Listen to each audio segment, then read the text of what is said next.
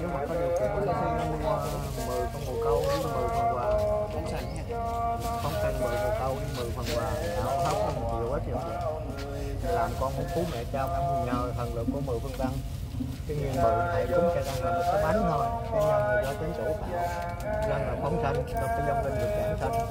Còn cái bố thí là được phước. Nhờ con cái bố thí là cái dông linh người cha mới được lễ hết. Còn còn con thầy cúng là cái bánh thôi. Ví dụ cầu siêu cho dông linh.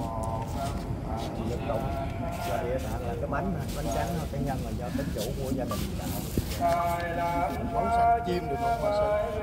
một phần một câu một câu trực tiếp ở trong này nó không thanh nhiều lắm thầy cúng là thầy biết thôi hai là bố thí một phần nhiều ít cho mình Dạ ý là con hỏi là mình bóng xanh chim được không? được một câu một câu ở đây hơn tại đây nè. Tại những bạn dạ một câu kinh Phật nhiều gia đình có tiền rất là nhiều nhưng mà đời lãng phí. Thì trong kinh nó đức a nan tổ đồng anh là sao đức phật còn lại nó chưa đức phật hiện quyền cũng lại của quyền hết tổ. Thì có của quyền hết tổ nó có phật.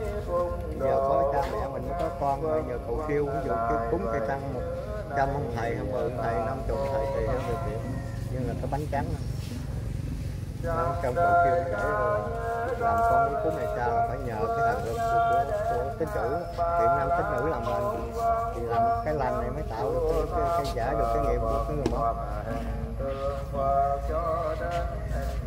như con phi nhung thì thầy không có nhưng nghe nó cổ bố thí lắm bố thí là cái kiếp này cái nghiệp kiếp trước nó đến cái đầu chứ không phải tự nhiên tự thì cúng nhiều lắm mà đâu có biết ở đây đâu cúng cũng vậy ở Hà Nội có Vũng Tàu có nhiều lấy thông tin mà Chưa đi cứu hả? thì trong này có cái chú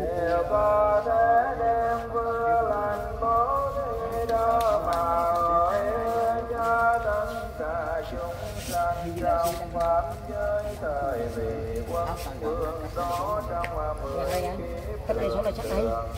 trong cái này luôn Dạ trong đó luôn. Tính về trời đại ban biến vương lại thế này nữa này địa toàn bộ pháp trong đời sao nếu có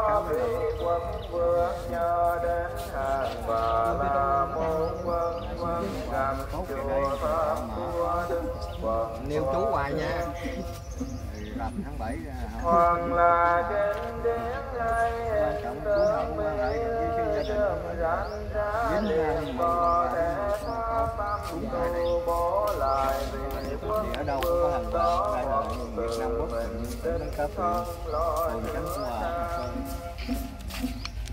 Hòa hòa khi khi mà đưa cái phần khác vô là xin năm hàng vàng ngoài này cũng cho nó mới đưa đây đây là phần khác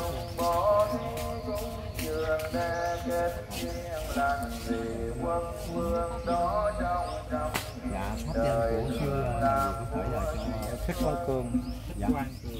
Con nhân có cái số điện thoại chung cùng làm việc vô lý do trong kinh khách thì phụ phán mà cái số điện thoại không có thuộc nó Dạ. mà người không quan tâm đến. Dạ. Từ ha, từ chưa dính đường. Tính hộ Phật giáo Bình Dương. Tính hộ. Đại đức. Kinh khách thì mình tham khảo mình học được cái số điện thoại số điện thoại thì không nhớ hả thầy.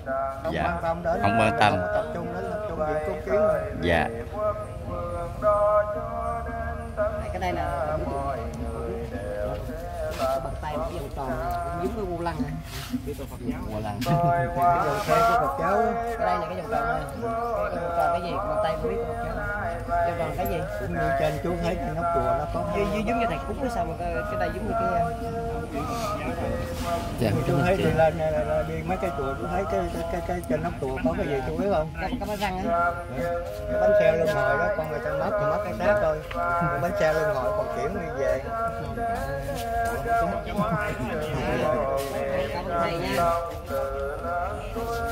tất cả là cái bánh và cái nhân là do con của chú làm Dạ.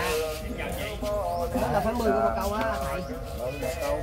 thầy có chia sẻ là người thân phải à, cúng dường cho vô đây nhiều lần mà chưa biết mộ của còn Nam Vũ Linh hả? Dạ, thầy biết. Nhờ thầy- nhờ lai dẫn vô đúng không? Thưa ơi, nãy giờ thì tụi con á, thì sư hô với thầy thì sư hô sư sư thì thầy có sư phải chú là luôn cho Tại vì cho biết là tụi con phải sư hô như thế nào là Đúng. Dạ. thầy sơn là bên miên. Dạ. Thầy thầy bên miên hả? nói chuyện sư cái dùng những từ sư là Bên miên hả? thầy tu bên miên kêu sư Dạ. Việt Nam gọi là thầy ha.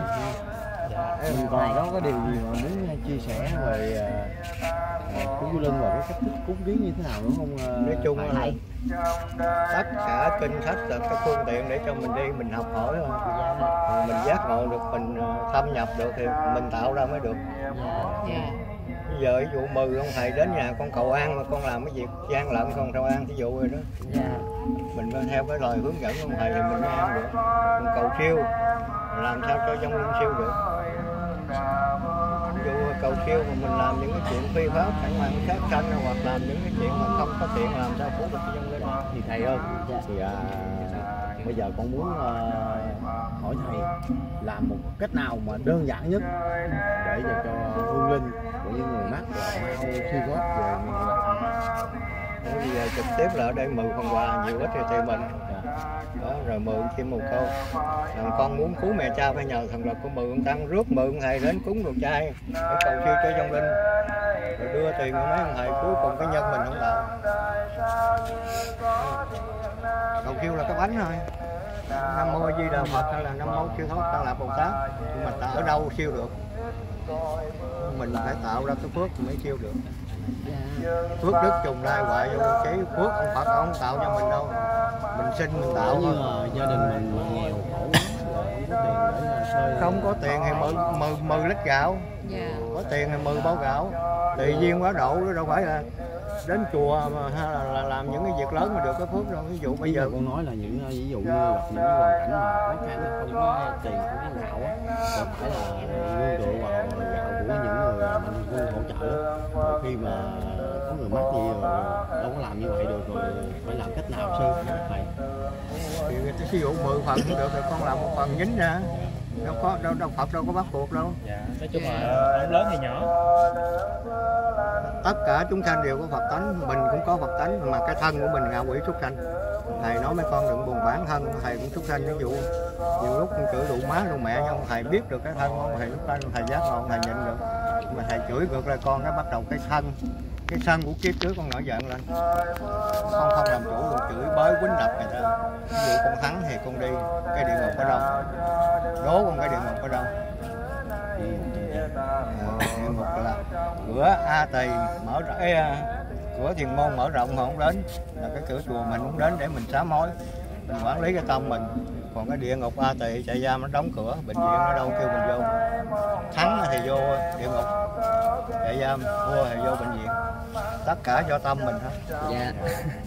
Nghe thầy nói chưa? nghe rồi nghe thầy nói rồi Tịnh tâm nha. À, tịnh tâm à. Mừng chim nha. Nói À. chuyện lo là mừng mừng một câu nha. Mừng bồ câu. Chuyện lần. còn nếu mà không có bồ câu thì à, Chim, chim chim. Nó không có chim nữa gạo. Gạo, Anh gạo. thầy lâu nha. đúng rồi gia đình nghèo cho ít làm con sân si lên con phiền não cái con làm ta mất phước hết còn mình cho 10 phần gạo mà người ta có chửi mắng gì mình mới được cái phước dạ cái phước nghĩa là đến ta chửi mình là mình vẫn mình ờ, tạo cái phước nó đến im mình không nó có lại lại ha. Thôi, chào hết mấy con nha dạ cảm ơn à, thầy à, thầy thầy ở gần đây hả thầy gần đây sau lưng Dạ. đâu? À. là tới rồi. à sau lưng này chúc thầy nhiều sức khỏe ha Rồi giờ thầy Chúc đi à. cúng nữa chúc thầy. thầy sức khỏe nha thầy Đức Dạ. Địa Tạng hẹn điểm Thầy, chưa biết mặt nữa Dạ. sớm dắt vô con đâu nhà ta thầy đang kêu chú không à. à kêu chú mà dạ Tại vì cho lưng cao khó không dạ Dạ. Dạ anh chào thầy nước này nha. là sao thầy Dạ thầy. cái chai nước. Dạ. Yến Châu xin chào cảm ơn thầy. Yến Châu xin chào cảm ơn. những người đông quá khắp đây trong ba mươi ơn thầy nha. à, thầy à, đi đi đi thầy đi cúng đi đi nữa phúc kỳ lắm dạ ta hỏi giá là thầy không có nói giá. Dạ. Tùy hỷ á sao thầy? Có khả năng bao nhiêu cúng nhiêu Mà Dạ. có thì cũng không. Dạ. Chỉ có hai câu nói thôi. Dạ. dạ. Không mùa dịch này cũng không nhiều lắm. Dạ. dạ. Cũng không thậm chí là sách gạo ở nhà đem tới cho làm Dạ. dạ. Thì thấy là rõ ràng không có gì hết. Dạ. Quá tuyệt vời gia thầy. đình nào mà dư á, nó ờ, ủng hộ thầy bao hai bao gạo. Dạ. Trở về Dạ. dạ. đó vậy thôi. Dạ. Dạ.